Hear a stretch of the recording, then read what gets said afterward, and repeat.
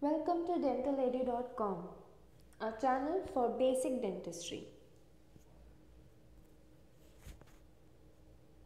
Today we will be studying the topic absorption of vitamin B12 from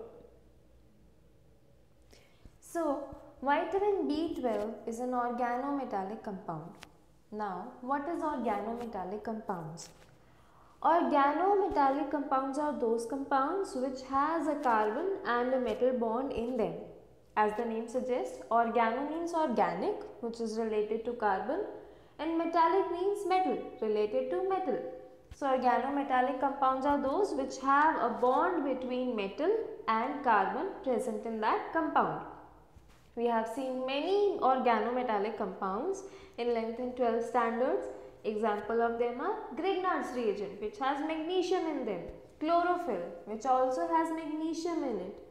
Then we have studied cytochrome A, cytochrome B, cytochrome C, cytochrome C3A.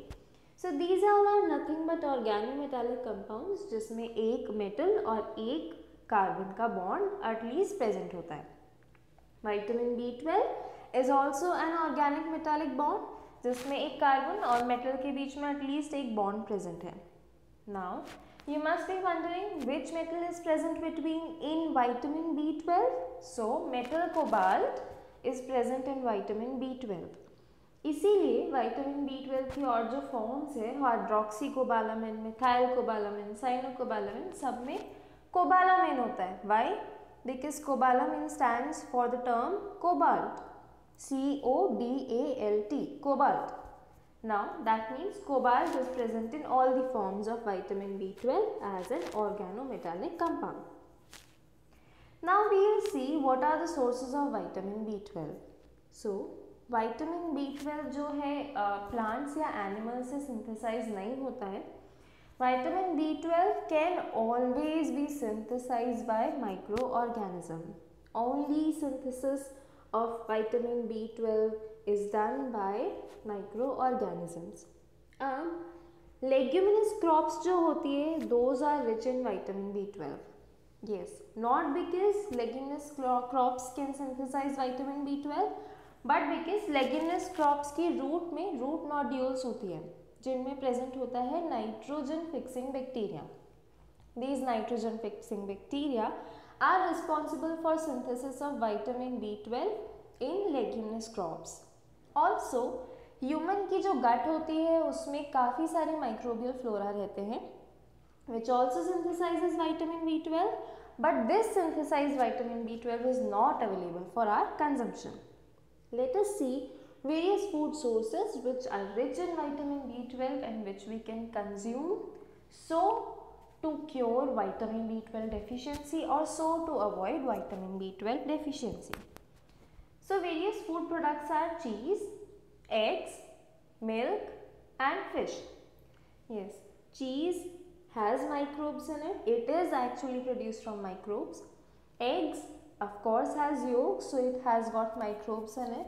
Then milk, milk has microbes in it. There are bacteria in it. Then we have fish. So fish itself is a living organism, animal, so it has got to be having microorganisms in it. So these are rich sources of, uh, sources of vitamin B12 which we can consume.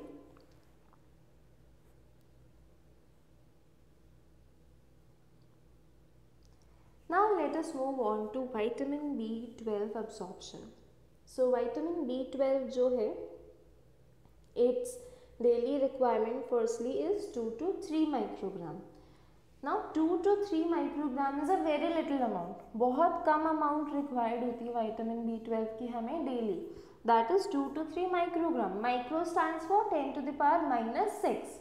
And this is the reason why कि vitamin B twelve की deficiency अचानक से ऐसे कुछ days या months में नहीं होती क्योंकि लिवर में ऑलमोस्ट इसकी थाउज़ेंड टाइम्स अमाउंट जो है वो स्टोर्ड रहती है इसीलिए vitamin B twelve deficiency takes years to come into notice and megaloblastic anemia pernicious anemia takes years to come into notice because we have a lot a lot of amount of vitamin B12 stored in our liver and our requirement is very little for it. Now we will see vitamin D absorption. So everything which we eat, it actually starts from the oral cavity only. So vitamin B twelve free form में exist नहीं करता जो हम food consume करते हैं it exist with a vitamin B twelve binding protein इसका मतलब है हम कोई भी फ़ूड खा रहे हैं तो हम वाइटामिन बी ट्वेल्व के साथ साथ vitamin B twelve binding protein भी इंजेस्ट कर रहे हैं now in oral cavity we'll है vitamin B twelve in the binding protein as well as हमारे सलाइवरी ग्लैंड से एक एंजाइम एक प्रोटीन सिक्रीट करते हैं दैट इज़ हैप्टोकोरिन जिसकी इंपॉर्टेंस हम आगे समझेंगे स्टमक में right so vitamin B twelve in stomach it goes via oesophagus into stomach और जो वाइटामिन बी ट्वेल्व होता है, वो स्टमक में it is bounded with that binding protein only now, what happens in stomach? we know that stomach has got cells which secrete pepsin. And pepsin is a protein digesting enzyme. And vitamin B12 एक binding protein के साथ bound होता है. So this pepsin digest this binding protein now again vitamin B comes into the free form in stomach but ऐसे free form में रहता नहीं है vitamin B12 so, it binds with the haptocorin protein, जो कि saliva में secrete हुआ था। Now you must be wondering कि why there is a necessity कि वाइटामिन बी ट्वेल्व हैप्टोकोरिन से बाइंड करे? Because there has to be some reason कि क्यों हैप्टोकोरिन से बाइंड कर रहा है। सो वी नो कि स्टमक का एनवायरमेंट जो है वो एसिडिक होता है because of presence of H C L so vitamin B twelve binds with haptocorrin in stomach ताकि वो HCL जो है which is a highly corrosive acid which is a highly degradative acid उससे वाइटामिन को B twelve को protect कर सके। So because of haptocorrin vitamin B twelve जो है स्टमक में प्रेजेंट एच से डिग्रेड नहीं होता and it is available for our digestion and absorption so it goes to haptocorrin now after vitamin B12 which is bounded to haptocorin reaches into stomach, it goes into the first part of small intestine that is duodenum. Now, along with vitamin B12 and haptocorin complex, there is an, another protein which is secreted from stomach and which reaches intestine that is ICF. Now in intestine we know we have pancreatic proteases that means enzymes released from pancreas which digest proteins. These pancreatic proteases now digest haptocorin and vitamin B12 is again in the free form. Now, in duodenum, vitamin B12 which is free from haptocorin because it is digested by pancreatic enzymes in duodenum bounds with ICF and again secures itself. पहले stomach में जब वो binding protein से release हुआ तो हेप्टोकोरन से bind होकर अपने आप को सेव कर लिया। अब डिओडनम में जब वो पेंक्रियाटिक एंजाइम्स के कारण हेप्टोकोरन से फ्री हुआ बिकॉज़ हेप्टोकोरन गॉट डिग्रेडेड तो अब वो आईसीएफ आईसीएफ के साथ बाइंड करके अपने आप को सिक्योर कर लेगा। So in this way vitamin B twelve is never free we can see throughout the passage कि वो हमेशा एक प्रोटीन के साथ बाउंड है. It is never free because if it would be free it would be either digested by a protease enzyme और आगे हम देखेंगे it would not be absorb so it is necessary for vitamin B12 to bind to ICF in order to get absorbed. And this binding of vitamin B12 with intrinsic Castle factors takes place in duodenum of intestine.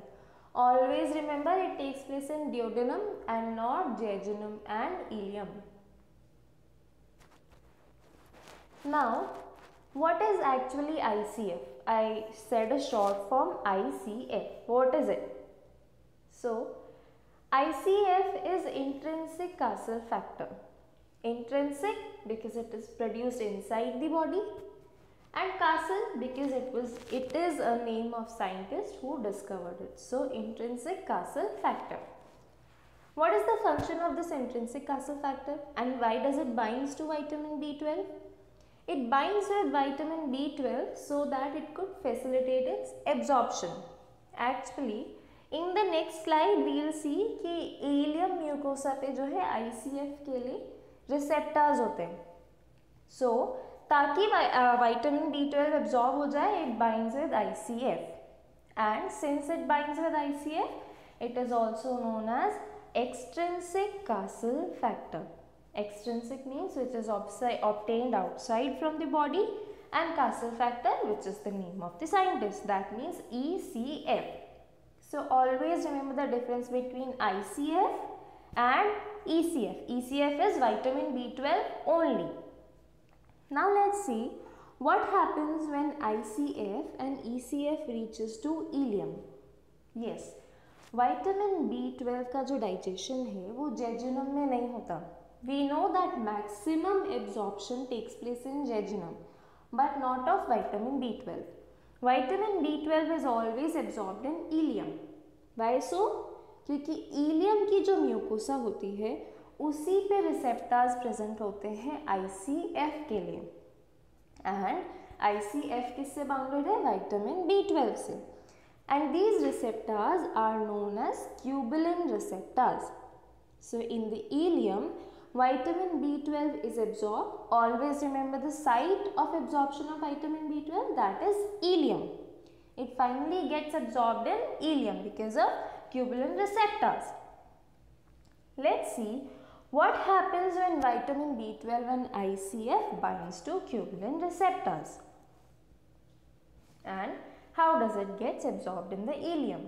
Now, in the diagram which is being drawn on the screen, it is shown that the ileum की mucosa है it has cells known as ileal mucosal cells and these cells have receptor which are shown here in purple color and those receptors are known as cubilin receptors. ये cubilin receptors they identify the ICF intrinsic Castle factor and it is just like a lock and key mechanism like one key is designed for a specific lock and a lock opens a specific key in the similar way cubilin receptors identifies ICF. Now what after they bind with cubilin receptors? After ICF and ECF complex binds with cubilin receptors, the cubilin receptors endocytose both intrinsic Castle factor and vitamin B12. In the diagram which is being made on screen, it is beautifully shown that cubilin receptor would uh, endocytose ICF and vitamin B12. After being endocytosed, what happens? Now it's the time कि vitamin B जो है intrinsic Castle factor से अलग हो जाए। So yes after being cyto endocytosed in the ileal mucosal cell intrinsic Castle factor और vitamin B twelve जो है डिसोसिएट हो जाते हैं। अब एज आई टोल्ड यू कि vitamin B twelve can not survive alone it needs to be bound to a protein तो now is the time कि विटामिन बी ट्वेल्व जो है, दूसरे प्रोटीन से बाइंड करें।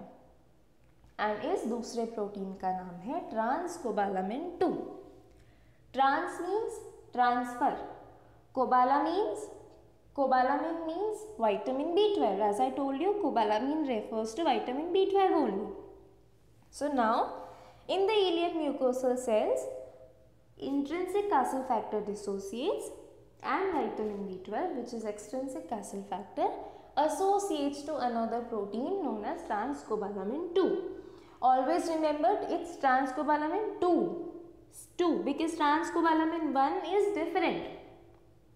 So it associates with transcobalamin 2 and beneath the mucosal cell there lies portal vein.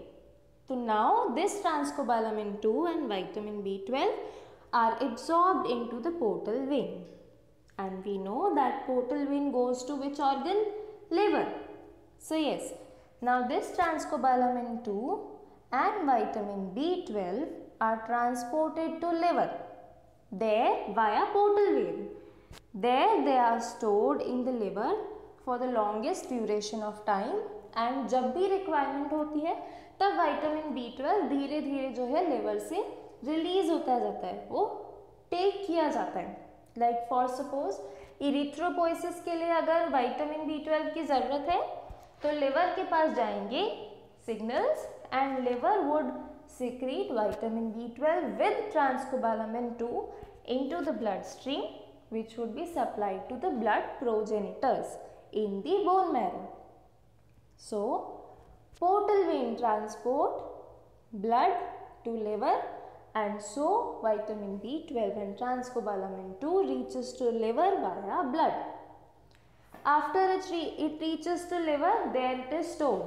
And as I told you कि हमारी vitamin B twelve की requirement daily requirement बहुत कम है it is two to three microgram and liver stores almost thousand times greater than the required amount and इसीलिए जो vitamin B twelve deficiency होती है it does not occurs within days or months. It occurs within years. Megaloblastic anemia due to vitamin B12 deficiency occurs within years and not within days or months. So this is the basic difference between megaloblastic anemia due to vitamin B12 deficiency and folic acid. Now thank you for looking into this video and if you found it knowledgeable please like, share and subscribe this video.